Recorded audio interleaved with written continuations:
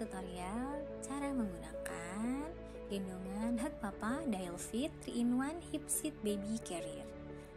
Sebenarnya cara menggunakannya nggak jauh beda dengan cara menggunakan gendongan yang biasanya kita gunakan dan kita buat senyaman mungkin sejajar dengan perut. Jangan lupa juga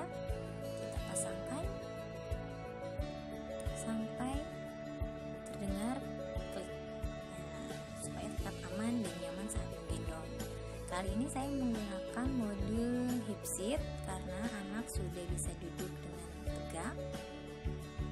Oke, kita siap-siap menggendong anak. Kita dudukkan di hip seat terlebih dahulu. Kemudian kita gunakan hug papa baby carrier kita sesuaikan dulu posisinya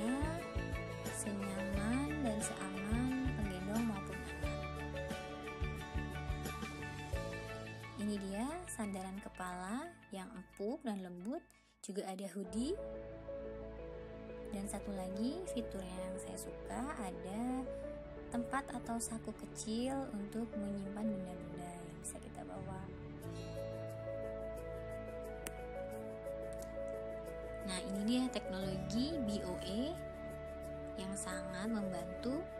Jadi kita nggak perlu repot-repot tarik-tarik tali untuk mengendurkan ataupun dan putar, maka tali gendongan itu akan mengencang dengan sendirinya. Nah, ini dia, tinggal diklik dan putar. Gampang kan? Oke, hug papa bikin gendong jadi makin mudah, aman dan nyaman. Dadah.